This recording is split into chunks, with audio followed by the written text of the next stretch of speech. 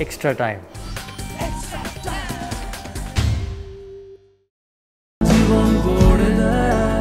সত্যি জীবন গড়ে দেয়। বড় ম্যাচে বিশ্বকাপের জনি অ্যাকোস্টাকে টপকে গোল করে রাতারাতি নায়ক হয়ে যাওয়া পিন্টু মাহাতোকে নিয়ে চলল দিনভর নাটক। ফোকাস নড়ে যাবে। এই অজুহাতে মিডিয়ার সঙ্গে দেখাই করতে দিল না মোহনবাগান টিম ম্যানেজমেন্ট।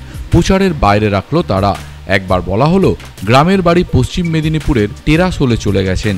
অথচ তিনি ছিলেন সাঁত্রিশ নম্বর রয়্যাল স্ট্রিটের মোহনবাগান মেসেই। সতীর্থ আজাহার ব্রিটোদের সঙ্গে।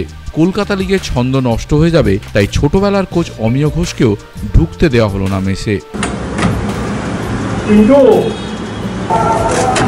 এই নিয়ে দুঃখ করছিলেন অনূর্ধ্ব সতেরো ভারতীয় বিশ্বকাপার রহিম আলী ও সবুজ মেরুনের প্রাক্তন ফুটবলার মনীষ ভার্গবদের এক সময়কার কোচ।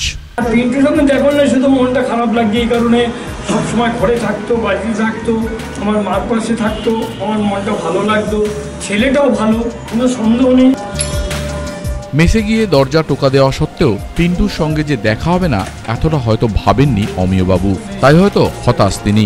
আমি আমার বেহালা বাড়ির থেকে এসেছি আশা করে এসেছিলাম যে দেখা করব। এখানে যিনি আছেন। উনি বললেন পিন্টু এখন ঘুমোচ্ছে। আমি বললাম ঘুমোচ্ছে যখন ডিস্টার্ব করতে হবে না কালকে আবার প্র্যাকটিস আছে।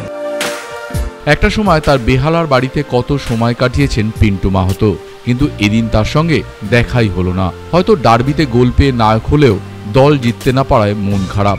তবে দেখা না হলেও অমিয়বাবু কিন্তু মঙ্গল কামনাই করলেন ছাত্রের। ওনার ধারণা আরও অনেক দূর এগিয়ে যাবে পিন্টু। ক্লাব কর্তাদের নির্দেশেই হয়তো ও দেখা করেননি ওনার সঙ্গে। আজকে হয়তো আমাদের মোহনবাগান ক্লাবে উপর মহল থেকে কোনো নির্দেশ আছে যে তুমি ওর সামনে গিয়ে কথা বলবে না, তাহলে তোমার অসুবিধা হবে ক্লাবে। এই কারণে ও ভয়তে দেখা করছে না।